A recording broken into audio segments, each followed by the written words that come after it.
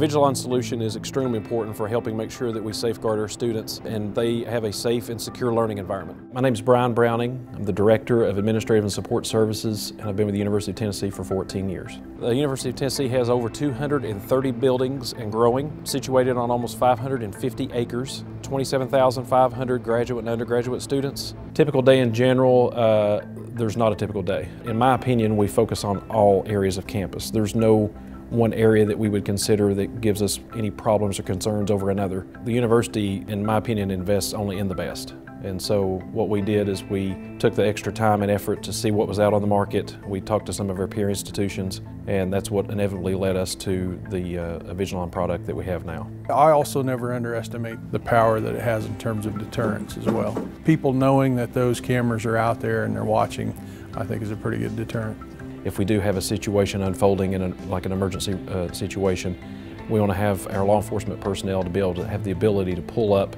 uh, live footage and be able to get that clarity that they need to see exactly what's going on so they can direct resources there. Before, where we were trying to look for a suspect in one game, uh, we could actually read the lettering on his shirt. Uh, so that helped us make sure that we, you know, along with the uh, high definition quality, we were easily able to identify that individual.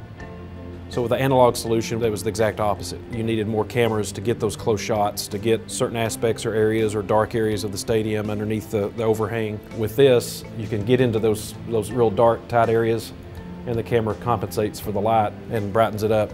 My name is Joel Reeves. I'm the Assistant Vice Chancellor and Chief Information Officer for the University of Tennessee, and I've been here 28 years. By implementing the Avigilon solution, uh, the way it's architected, we're able to manage our network traffic much more efficiently and what that means is much more reliability and availability. Again, specifically when you're talking about life safety being on the network, uh, you want to make sure those things, there's no latency. You minimize that and keep that stuff secure from everything else. So one of the, the many options that the Avigilon uh, solution provides us is their mobile app.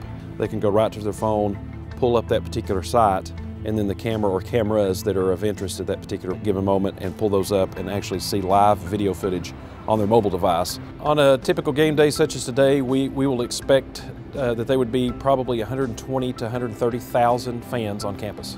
So the Avigilon solution also provides us an opportunity to provide that extra layer of security and safeguard for the team, the coaches, and our fans on game day experience. So once the vol walk kicks off, we actually can follow them and provide that logistical security support that's needed and make sure that they arrive in the stadium safe and sound as well as our fans and get ready for game day festivities.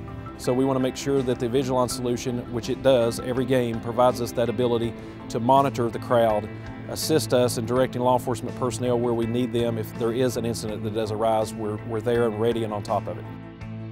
Avigilon is, true in every sense of the word, an end-to-end -end solution. We're proud that the University of Tennessee is uh, one of the largest university partners with the Avigilon solution on our campus.